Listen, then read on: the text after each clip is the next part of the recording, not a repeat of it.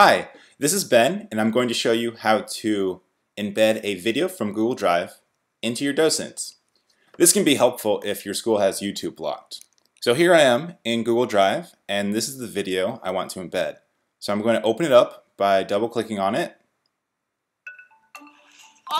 And in order to get the embed option, what I have to do first is click on this pop-out button. From here, I can click on the three circle more actions button and click on the embed item in its menu.